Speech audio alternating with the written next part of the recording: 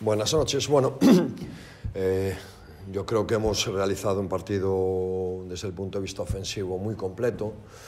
Eh, creo que hemos sabido explotar nuestras virtudes eh, y los jugadores han demostrado mucho acierto, no solo en las situaciones eh, cercanas del aro, sino que también hemos tenido mucho acierto en, en las situaciones de, de lanzamiento de tres, ¿no? que al final han sido eh, fundamentales. Desde el punto de vista defensivo, bueno, hemos tenido altibajos con, con algún problema en el, en el rebote que les ha permitido a ellos anotar en segundas opciones, pero bueno, cuando llegó el momento clave, que yo creo que fue el último cuarto, estuvimos francamente bien en estos dos aspectos, ¿no?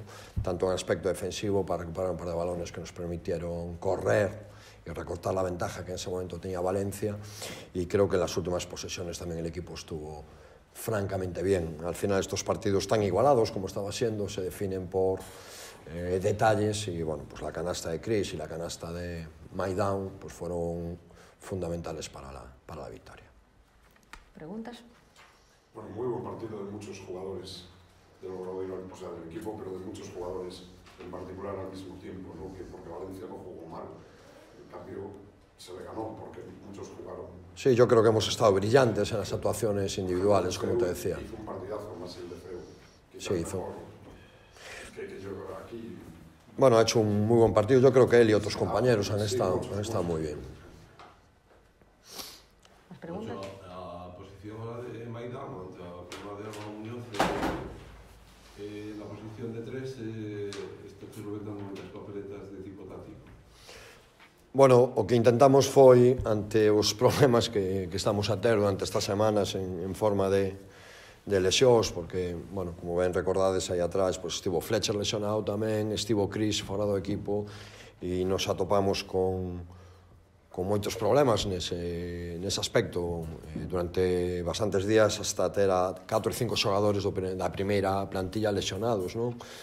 E a forma de solucionalo era cos, con outros xogadores do, do xogo interior que podían axudarnos no exterior, como é o caso de, de Maiki, que axuda dos xogadores do, do filial que nos axudan a adestrar cada, cada semana e preparar estos, estos partidos, non? E, eh, bueno, pois dos xogadores interiores, o que ten máis habilidades para, para xogar eh, nesas posicións, pois pola súa mobilidade e capacidade de Mike, e está nos dando pois outra eh, outra disposición táctica, como ben dís, que, que non tiñamos.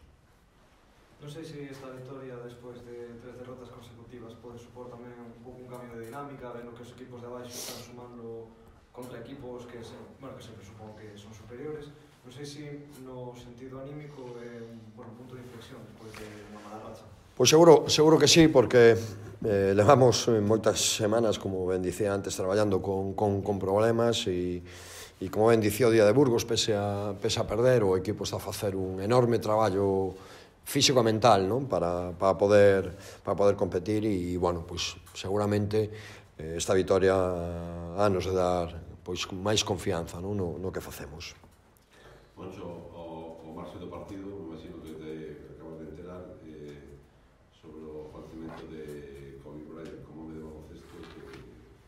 Pois, pois, pois unha desgracia, non? Unha desgracia moi grande para o mundo do básquet, unha desgracia moi grande para a súa familia, sobre todo. Eh, e bueno, é o que nos fai pensar é que hai que disfrutar cada día as pequenas cousas e as cousas boas da vida hai que disfrutalas en cada momento.